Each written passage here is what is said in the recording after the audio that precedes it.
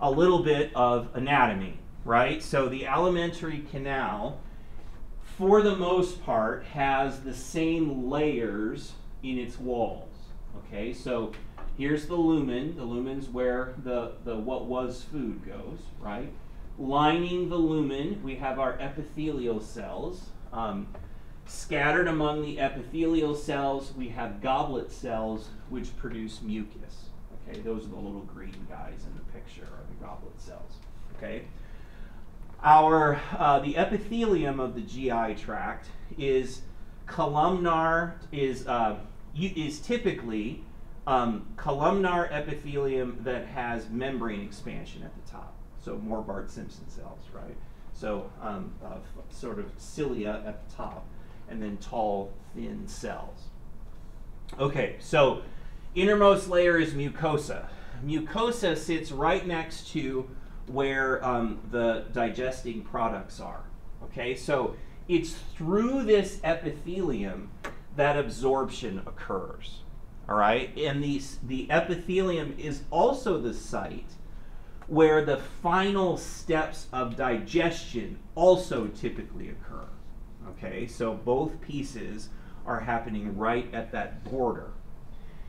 Because this mucosa is where the work is being done, we want to take the mucosa and push it into the materials that are being digested so that we get good surface contact, right? So the muscles that underlie the mucosa, their job is to sort of push the mucosal lining up against the contents of the lumen so that we get good um, uh, connection for the uh, absorption to happen by diffusion and for the digestion to happen by the um, membrane associated proteins. Okay? So, um, underneath the mucosa, we have the submucosa, and it has the muscles that change the shape, pushing it in. Muscles need nerves to work, right? So we have Meissner's plexus is our um, most uh, is the is the plexus that's closest to the lumen and it's going to coordinate the, the, the control of the um, mucosal muscles. And then we also have some glands.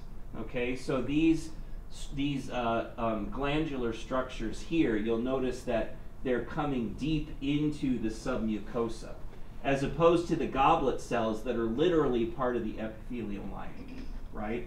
So these submucosal glands, um, are going to produce mucus. They're going to produce, um, uh, some will produce hormones, as we'll talk about later, but they are scattered throughout that area as well. Okay, so that's mucosas first. Submucosa is where we have those items. Okay. Next layer out, we get our circular smooth muscle layer. Okay, so that's um, going around. Okay. Underneath that, so on the other side of the circular layer, we have our myenteric nerve plexus, um, also called Auerbach's plexus. In anatomy, are you learning it by the name or the proper name? Like myenteric or Auerbach's? You haven't talked about it yet? Okay. I was trying to be consistent this is the new name. You know, we're trying to get rid of old doctor names, right, out of anatomy. So myenteric nerve plexus is how I'll refer to it. Um, the and submucosal plexus. You won't hear me talk about Meissner's or Auerbach's. Um, I think why not give you the words that have some clues in them, right? What is an Auerbach? Who knows? But a um, a myenteric nerve plexus, you can at least figure out where it is, right? Okay. So um, then we have our longitudinal smooth muscle layer. All right, so the, we have these two layers and they're oriented differently. The circular layer goes around the tube, the longitudinal layer goes along the tube. Okay? Together, these two um, uh, layers allow for different kinds of motion, right? So the circular layer can squeeze the contents, all right? The longitudinal layer can push the contents along okay? When they work together, we get that the classic um, motion down the alimentary canal, the peristalsis, when we get both compression and lateral and um, uh, movement forward. And then outside, all the way on the outside, is the serosa, right? So when you look down into your um, donor, that's what you see in the GI tract. The shiny outer covering is the serosa, right? So it's also called the visceral peritoneum, right? You might have heard it called that too uh, in anatomy. Okay, so that's the basic structure. Now, I say mostly consistent. There are areas of the GI tract that don't have all the layers, okay? But generally speaking, the 15 plus feet of it that is longest does, right? So, um, have you taken the GI tract out of your donors yet?